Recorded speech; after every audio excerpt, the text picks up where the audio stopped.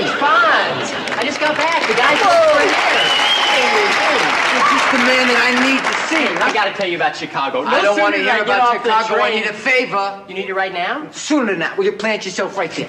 Sure. All right, now look. If I don't put these glasses on the next minute and a half, I will never put them on, okay? You just sit there, listen to me, all right? And whatever you do, just answer me with,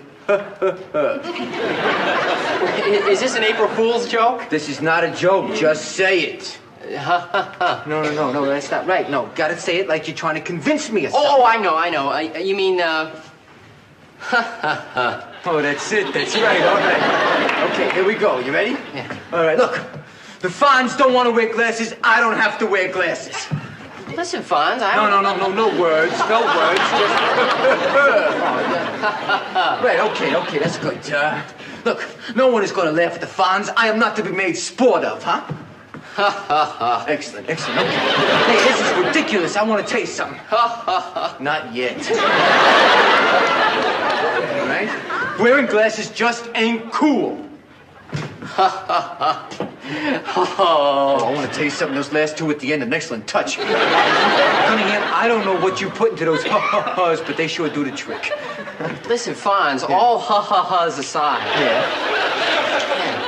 I think if you gotta wear glasses, that you should put them on, go out there, and show everybody that with glasses or without glasses, you're still the Fonz. And here are the full finalists. Hey, Fonz, listen, I'm sorry. I took an early train back so I could see this. I gotta go.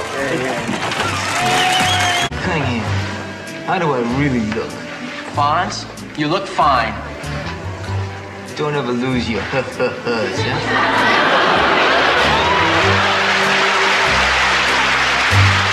More if the chicks won't leave me alone. Listen, I, uh, I gotta ask your advice. Of course. When I was in Chicago, I met this girl from Texas, Lulabelle.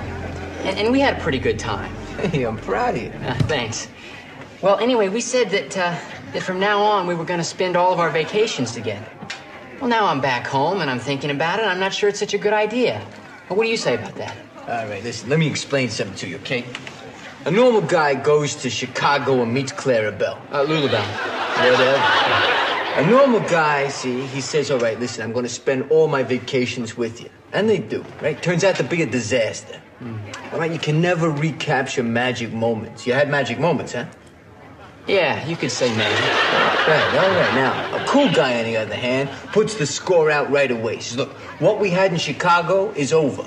You go your way, I'll go mine. In that way, you can preserve a memory. Huh? Damn. Hey, Rich. Whoa. Around here at Easter.